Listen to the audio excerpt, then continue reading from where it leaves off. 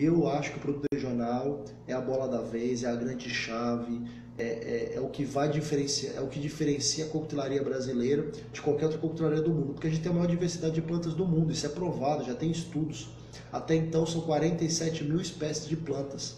Se a gente levar em consideração que a gente pode utilizar, tem plantas que a gente pode utilizar semente, utilizar folha, utilizar casca, enfim, o fruto, o miolo dele, enfim, uma variedade enorme de, de, de variações, ou seja, essa variedade vai para 100 mil espécies ou mais.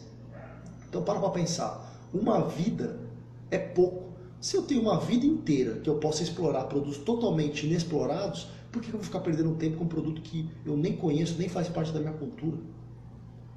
Enfim, no Nordeste a gente tem o caju, né, que é um produto sensacional.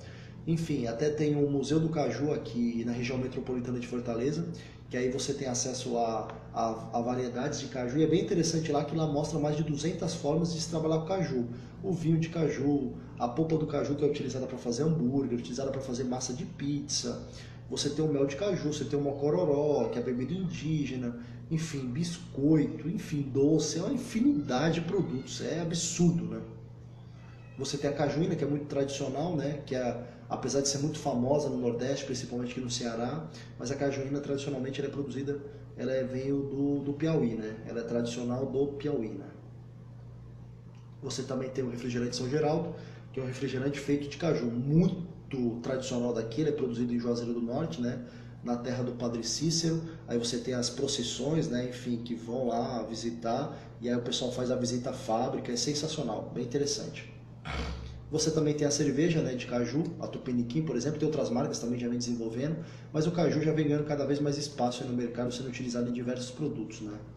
Você tem o vinho de caju, você também tem um destilado de caju. A Ipioca tinha um produto chamado Acaiu, que era um destilado de caju sensacional, na minha opinião, até envelhecido em carvalho e tal, mas infelizmente com a compra da Diageo pela Ipioca eles tiraram do mercado.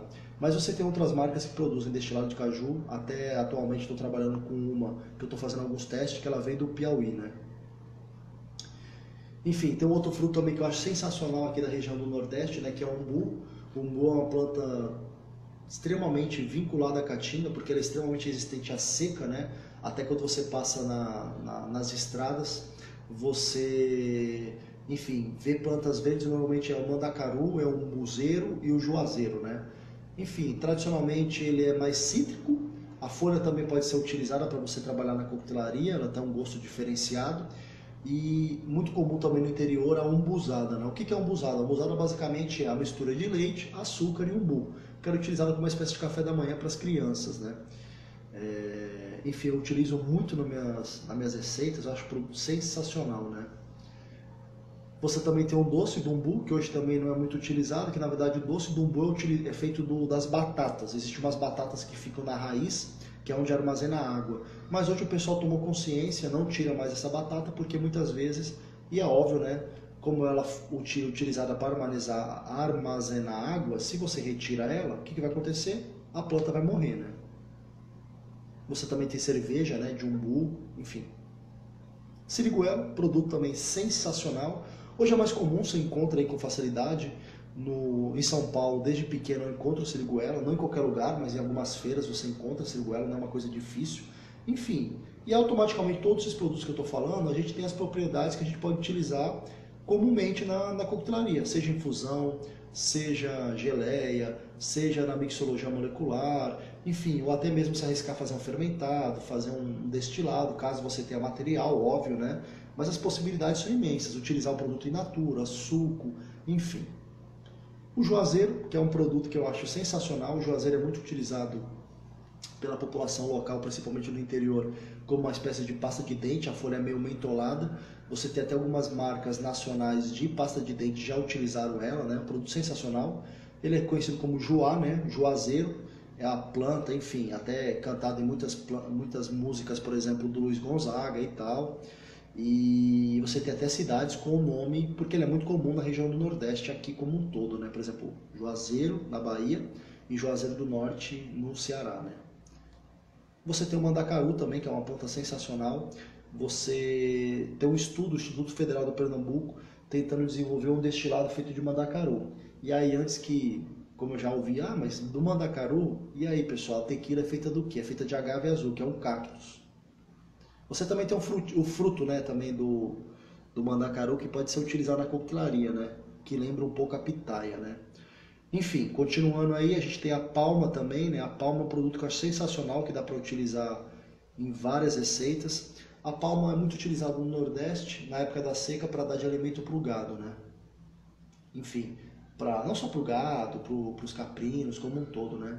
Produto sensacional. Eu, particularmente, já provei o suco de palma, já utilizei em coquetéis, eu acho um produto fantástico. Lembra clorofila, óbvio, não é igual, lembra, pessoal entendeu? Clorofila, um produto sensacional, eu acho incrível ele assim, tem N propriedades, aí entra naquela coisa também que eu costumo sempre falar nas minhas palestras, tem que aprender a vender os nossos produtos.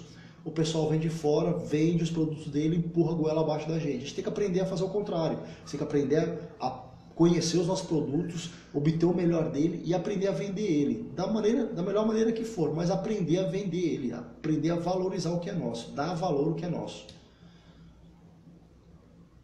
A gente também tem, por exemplo, o coco maçã. O coco maçã, o coco, o coco maçã é bem interessante. O que é o coco maçã?